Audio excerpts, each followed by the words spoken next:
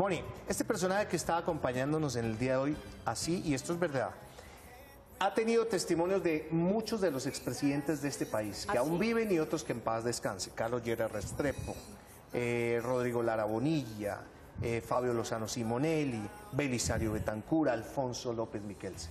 Y mire lo que dicen algunos, por ejemplo, Carlos Llera Restrepo, que en paz descanse, decía, ¿cómo lamento no tener la técnica teatral que domina el doctor que está invitado en el día de hoy? O Alfonso López Miquelsen decía, ¿Qué dijo? ¿Qué dijo? a este señor le pasó lo de Hernando Santos, se quedó en el tiempo. Hernando. Belisario Betancor dijo, nos convenció en Palacio que estaba hablando sobre la Constitución y nos tomó el pelo durante dos horas. Señoras y señores, hoy está este personaje que lo vamos a recibir con un aplauso. Clímaco Urrutia, el doctor Urrutia. Jaime Santos, bienvenido a nuestro programa. Gracias, Mercedes. Director, libretista, también fuiste director durante bastantes años de Caracol Televisión, de RCN también. Una personalidad muy importante en estos 60 años de la televisión colombiana. Bienvenido a nuestro programa. Gracias. Sí, en- en- en- como director sí fui un tiempo en ahí. Ahí, ahí me, me- me co- me- me- yo soy de, de extracción teatral. Sí, correcto.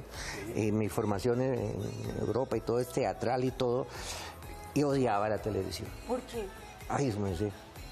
Porque no había muchachas tan lindas como tú en ese Eh, tiempo, ¿no? sí. A mí me tocaba con todos, con, con Mónica Silva, con to- eh, sí, Teresa Gutiérrez, toda esa gente que era de mi generación. De su generación, pero, pero en ese entonces también Pero eran es igual de no, Sí, Dios, eso, eso entonces- no se olvida, ¿no? No, no, no se me olvida. Venga, esto, eh, solamente tengo una. ¿Vamos a hablar con el doctor Jaime Santos o con el doctor Clima Corrutia o con ambos? Si va a hablar conmigo, no, quíteme el doctor, ¿sí? O sea, Jaimito. Que eso se le dan a cualquiera ya, sí, sí. Comenzaron a dárselo a uno los, los, los emboladores, ¿te acuerdas? Sí, y sí, los sí. que cuidan los carros. Le cuido carro, doctor. Entonces, no, tú, tú no me metes ahí, ¿sabes? Bueno. A, lo- a Rutia sí se mete con él, cuidado. No, no, o sea, sí toca con mesura. Y no lo tuteé. Y no lo toqué porque sí. Pero además de todo esto de actor, libretista, director, no sé, a mí una vez en- mi papá me comentó viendo televisión que había sido también candidato a la presidencia hace unos añitos. Sí. Ahora, no me voy a confundir con Carlos Urrutia, que, que, que estaba embajador ahorita y, y estuve en, en Vercolza y todo eso. Eh, eh, esos son otros Urrutia. Otro Urrutia. No, pero él, él no fue candidato.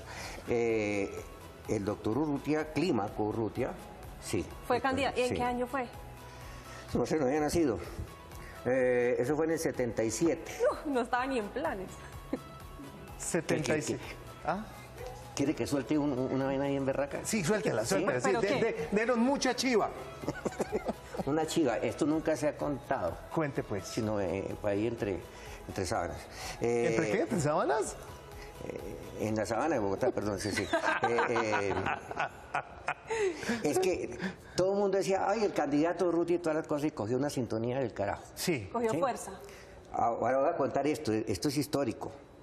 Mm, yo no sé por qué voy a hacerlo con, con esta belleza. No, ¿cómo pues va a que toca, claro. Dijo, es que mi papá lo conoció a usted. bueno, entonces, para que le cuentes a tu papá. Bueno. Mira, yo era director de Caracol Televisión. Yo hacía, dirigía novelas y escribía novelas y, y- y- y dramatizados. ¿no? Bueno, ok.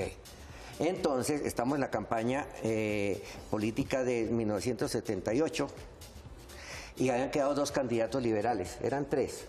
¿No? Y quedaron Santo dos. Fi- Santofimio, Santofimio Y- eh, Turbay Sí. y Carlos Lleras, que ya había sido presidente. Correcto. Santofimio de Taquito lo sacaron en, en Medellín en la convención liberal. En la y convención de. Medellín, claro, sí, Chaolín Pingüín. Entonces quedaron entre los dos, entre Turbay y Lleras. Sí. Entonces se acordó en esa convención que el candidato se elegía por elección popular, votación popular. No a puertas cerradas, sino todo el pueblo iba a votar A por, votar. o por uno o por el otro, candidato liberal. Yo, eh, yo en ese momento, pues no era director de Caracol y puse un restaurante, yo no sé por qué. ¿Le dio por poner un chuzo de comida? Ah, no, no, quebramos ahí eh, en, ¿Con la, quién? en la Jiménez con Cuarta. ¿Y de qué fue Con Alberto? Lozano Simonelli, que era rector de, de- de la, la Universidad Tadeo Lozano y yo era profesor en la Tadeo. ¿Sí? Y entonces pusimos un restaurante. ¿Y de qué, qué vendían ahí? Pues eh, mira, eh, no tengo la carta aquí, pero... eh, eh, pero, pero, eh, eh, Pero no sé, una, corrientazo. Una sobrebarriga, o me sé que no se imagina. Comida bogotana. Bogotana, claro. Y, y era Una, colombiana sobre, una sobrebarriga con capul. Bueno, entonces el jefe del partido libre, el- del partido yerista, el, mo- Sí. el jefe del movimiento yerista era el hermano eh, Fabio Lozano Simonelli, uno de los tipos más ilustres y más intelectuales e inteligentes que ha tenido este país, Fabio Lozano. Así es. Él le gustaba mucho que ustedes saben así. Entonces él pasó la sede de, de- pasó su sede en la oficina del movimiento de, de Carlos Lleras y se fue para el bar. Entonces él despachaba casi desde ahí, manejaba todo Fabio Lozano Simonelli. Ajá. ¿Ya? Entonces, eh, según, según la Constitución, el director del Partido Liberal tiene que ir a presentar en la registraduría o en la, el corte electoral tiene que presentar la vaina, la solicitud para que se autorice en, en tantos días para hacer la elección a nivel nacional. ¿sí? Ellos se quedaron callados, ¿no? Porque el director era Turbay. Se quedaron callados y no, estaban trabajando por su cuenta. Nosotros no sabíamos. Entonces, un día eh, eh, llegan como... Ah, y a mediodía iban todos los... Me, me llevaban los, los Sanos y me llevan a todos los senadores ¿Ah, sí? a almorzar. Pues entonces ¿Ah, usted sí? sabe muchos secretos. Ah, no, pues, no, no, no, los ahí. secretos no, no, todos firmaban su merced, me quebraron con esa vaina, sí. ¿Ah, sí? Claro. Dígame a Holmes Trujillo, por ejemplo. Todos los días iba a decir, Jaime, qué de barriga tan deliciosa. Le el- Mañana con los de la Comisión Segunda, ¿sí? Sí, y le somos, somos que el- 18 el- más 3, 22, Le 23. firmaba y le pagó lueguito. Sí, no, firmaba, firmaba y me, y me ponía, digamos, eran 250 más 50 mil en efectivo, más la propina y firmaba y toda esa vaina. Firma, pero no Y- y- pagaba. no, no, no, no, no, no, no. Nos, nos ¿Y quebraron. entonces? Y por la noche llegaban todos de la televisión. Y también le firmaban. Y los músicos, porque como yo soy enfermo el bolero, ¿no? Ajá. Sí, es bolero. Entonces toda la noche llegaba Víctor Hugo Ayala, llegaban todos, todos esas vainas, todos a tocar música hasta las 2, 3 de la mañana. Claro. Y también firmaban. No. No, ellos ni siquiera firmaban, No, porque no, no, no. los dejaban. No, no, ¿qué vas a firmar? claro, quebramos. Los y antes de la quiebra, entonces un día estamos todos tocando, cantando a Agustín Lara y todas las vainas, cuando entran cinco o seis carros, llegan ahí a la, a, a- a la Jiménez con cuarta. Está el doctor de Lozano Simón, así como, doctor, se nos encaramó el turco. ¿Cómo es eso? Turbay, lo he dicho. ¿no? Ah, ya. ¿Y cómo así? Pues sí, resulta que descubrieron que, que había muchos, eh, cuando, eh, por ejemplo, eh, ha- hagamos eh, el ejemplo, ¿no? Eh, llegaban a, a Cúcuta, ¿no? Sí. Yo soy, yo soy turbayista, yo soy delegado del turbayismo, ¿sí? Y tú eres yerista. Pues somos amigos, nos conocimos, Sí, o exacto. trabajamos en el colegio, cualquier vaina. Entonces, yo necesitaba conquistarte a ti para el. Ok, sacarme el yerismo para Ah, irme a exactamente, turbayistas. exactamente. ¿Qué Entonces yo, yo te decía, hola Hernán, esta mañana llegó el, el- el candidato, Y me dijo que quiere conocerte a ti, ¿no? Mm. Eh, dijo, no, ¿por qué? Dijo, no, hijo, me tengo buenas informaciones de ese muchacho, es un tipo que ha hecho mucho aquí por el departamento y todas las vainas. ¿Por qué no va a estar? Dijo, no, yo no voy, pero no, tiene nada. Y tú por curiosidad, dices, ¿por qué, por qué tú vayas a mí? ¿Por qué me escoge a mí? Entonces, Sí, ¿Sí? entonces, entonces, tú ibas. Y cuando entraba, Tin. eh, yo le decía, ese es Orjuela. Entonces, Así. Y Que acuérdese, doctor, que él es el, el rector del colegio San Benito. Que entonces, decía, doctor Orjuela, me encanta saludarlo personalmente. Sí. ¿sí? En análoga forma, quiero decirle a usted que si yo llego a ser bendecido por eh, eh, salir de presidente, me encantaría contar con su colaboración como secretario de Educación del departamento. No. Ah, madre, Ah, usted- no, pues Ahí le esto- enganchaban directamente. Carajo, venga Qué- para acá, qué maestro. mermelada, ni qué ¿Quién mermelada. dice que no? Así les hacían ojitos entonces. Claro, y entonces cuando nos damos cuenta ya no se podía, dejaron pasar la fecha de, de- de- de- de inscribir la, la, la candidatura registraduría, esta- sí, nunca la lo registraduría. hicieron. Entonces hubo que hacerlo ya a puerta cerrada, lo que se llamó el consenso de San Carlos. Sí. Ya venían únicamente los delegados de todo el país, liberales, a votar a puerta cerrada en el Palacio de San Carlos, que el presidente era, era López Miquelsen, que era turbayista también, y allá se encerraron. Yo creo que el Llera sacó dos votos, el de la esposa y el de él, ¿no? Sí, sí.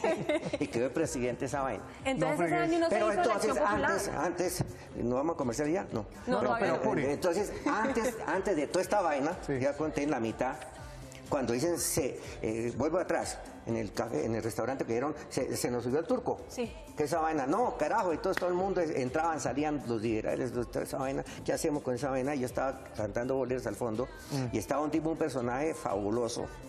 Se llamaba Salustiano Tapias. Claro, Humberto Martínez. Salcedo. Claro, el Él era el libretista de, de, de Sábados Estados Felices. felices. Ah. Claro. Y Sábado Felices eh, eh, pues tenía, estaba en primer lugar en Claro, sintonía. el papá del sábados, ministro. ¿no? Y él era libretista y actuaba también, como Salustiano Tapias. Entonces dijo, pues yo creo, hablando así, el único que puede salvar esta vaina es Clima Corrutia, el doctor. Lo dijo mamando gallo, pero Sí. la gente lo tomó en serio. No, no, no era tan... eh, Pero lo yo, estoy tocando piano allá, yo estoy cantando bolero, yo no estoy... eh, Esto es en el bar. Él le da por Eh, opinarle a la sí, gente. Dijo, dijo, mire, hagamos una vaina. Acuérdense ustedes, señores colombianos, que en esa época no habían debates de los candidatos, No. sino una, una semana antes de las elecciones. Cada candidato salía 15 minutos solito. Decía, buenas noches, mi programa de gobierno es este y este. Y se acabó. Una feliz noche y hasta luego. Y hasta ahí nomás. Se acabó, Sí, nomás. una semana antes. Entonces, yo, la idea de, de Salustiano Tapias, ¿no? Dice, metemos a Clímaco a televisión, yo era director de Caracol, ¿no? Sí. Y él era libretista. Estábamos ahí, ¿no? El dúo dinámico. Claro, eh, eh, y además todos los de Caracol también estaban con Lleras. Entonces, listo. bueno. Entonces, eh, usted, vamos a lanzar a Clímaco todos los sábados 15 minutos. Se llama A Reír en Serio, una de esa vaina. La Ah, primer- el primer capítulo es que entro yo buscando, eh, entro a un edificio buscando un local para, para la sede mía. No me gusta esto. Digo, no, yo quiero algo colonial y pedí, pedí la, la alcaldía de Bogotá. Y está el alcalde Maecha y sacamos a Maecha de, de, de, de la oficina. Ahí está Maecha. ahí, sí, ahí el escritorio de Maecha, él eh, despachaban de la secretaria. ¿Está del el doctor alcalde. Gaetan y Maecha, en ahí, serio? que hasta le quemamos una, una cortina. ¿Y cómo fue eso? ¿Cómo así que le quemó Porque la cortina? el de la luz, ese señor que estaba, se dejó recostar una vaina grabando la vaina y se quemó. calentó. entonces- Bueno, afortunadamente eran otras épocas, ¿no, Jaime? Porque Sí. Con Petro no creo que la cosa No, no, aguantado. Entonces, entonces yo comienzo a salir todos los días, todos los sábados, Sábados. durante siete meses. Imagínate, en Sábados esa Felices. vaina, Imagínese eso. 15 minutos y todo el, El elenco, Prime. que era el Mocho Sánchez, Flaco Agudelo, de Pía, todas las vainas, todos estaban en la campaña. ¿Ya?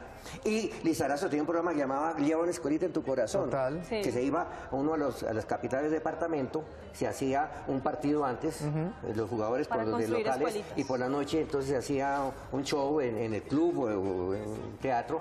Y entonces todos los actores hacían, iban cantantes también, músicos. Para recoger fondos. Claro, y entonces me metieron a mí ahí. Ah, también hacer campaña política La primera vez que así conozco yo Chocó, ¿no? Yo, yo llego, a- llegamos en, la- en la Bianca, se bajaron todo el elenco, ¿no?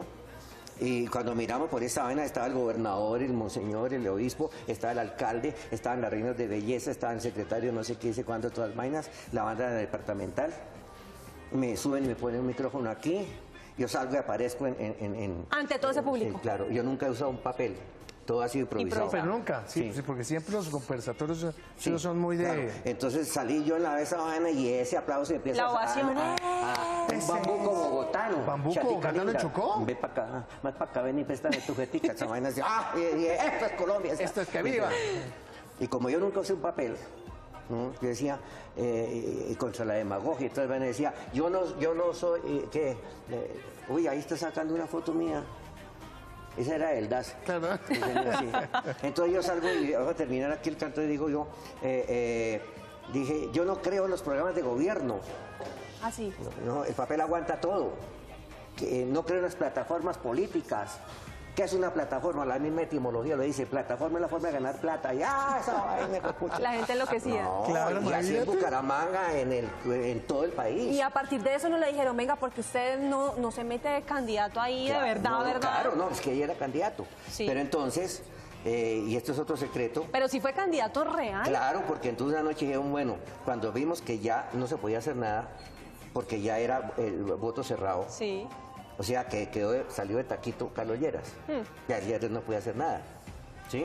Entonces, no, pero con todo este cúmulo de votos, ¿qué hacemos? No nos perdamos. Entonces, prun, me metieron y, y eh, Salustiano Tapia llamó a su compañero el doctor Corso, que era el secretario primero de... de- esto, sí- esto es una denuncia, claro. Secretario primero de, de Cúcuta, lo llamó a las 2 de la mañana, estábamos tomando aguardiente y dijo, oye, doctor, mire, qué pena que despierte. Eran compañeros de Derecho la Nacional. Dijo, podemos hacer esa vaina, escribir a Clímaco aquí porque en Bogotá alguien se da cuenta. Tenemos en secreto esta vaina. Y yo registré mi, mi este clima Urrutia allá. Para el momento, eh, la gente decía, la oposición, decían, este tipo no puede porque no se inscribió. Ah, hecho- no reúne los requisitos, sí reunía los requisitos, los cinco requisitos para ser presidente.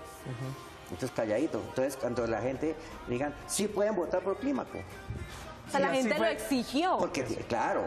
Muy bien. Y ahí Es- fue cuando me abrió toda la cabeza. La cabeza, no, es que las historias... eh, ¿Cuánto- eh, me, me rompió la cabeza, estamos haciendo la película para denunciar esa Jaimito, vaina. cu- doctor Urrutia, ¿cuántos años tiene de, de vigencia, digamos, en, en el proselitismo? ¿Cuántos años tiene? Eh, Clima Corrupta nació en el 77. 77. Sí. Mal contados. Hasta, hasta, hasta un poco de tiempo. Sí, dos preguntas para do- el doctor para, así como para terminar. La primera de ellas, ¿le gustaría estar sentado en La Habana, allá usted conciliando entre la guerrilla y... la- ¿No le gustaría? ¿Por qué? Mira, yo he estado viviendo mucho tiempo fuera del país por muchos problemas, ¿no? Dos veces eh, estoy viviendo allá, ahorita volví eh, por unos días y cada día es peor. La situación es, es vergonzosa, es vergonzante lo que nos está pasando a nosotros. ¿no? Eh, no hay derecho que se juegue con, con el país, con todos estos juegos. Si yo no puedo creer ya a nadie, cuando, cuando, ya, cuando ya está en- en- en- en- metida en, problemas de la justicia, la Corte Suprema, la. Fiscalía, entonces, ¿qué Lo esperamos tenemos nosotros de, de un ¿Y el doctor Clímaco Urrutia cree que sí se puede llegar a alcanzar la paz? Esa pregunta no la puedo contestar porque me compromete. sí, sí, sí. Muy bien. Mónica, en serio, en serio.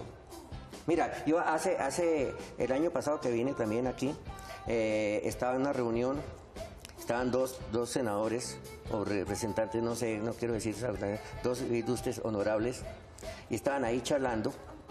eh, y ahí se estaba charlando, yo estaba charlando con una persona ahí, era uno liberal, están más yo soy conservadora, estaba en el techo, y decían, bueno, entonces eh, yo la ponencia la hago, y la hago el martes, creo que me la dan el martes, necesito que me hagas oposición, ¿sí? Tú dices esto y esta vaina. No, no, mejor te cojo por esta vaina. Yo oyendo toda esa vaina, es el que hablaba con ella, ¿sí? Sí. Listo, eh, vamos a la vaina. Entonces, ese, ¿cómo voy yo ahí? ¿Entiendes? Sí. Entonces, no hablemos de ética, No, no hablemos de por favor. ética. No, Pero bueno, hablemos, no bueno, hablemos tranquilo, de- pero tranquilo, No, no, Ya le- que ya me- le- ya- ¿cuándo me- ¿Para qué me hizo la pregunta? Ya le tenemos una Yo- Valeria. yo le tengo regalo para que se tranquilice. Un aplauso para el doctor Prima Corrutia que nos ha acompañado en el día de hoy. Prepárense, ahorita viene Alejandra Borrero porque le va a pintar el pico, porque ojo, no, no maltrato a la mujer, le va a- ella quiere pintarle Pico el pico a usted en un momentico. ¿Viene pico la borrero? Viene la borrera.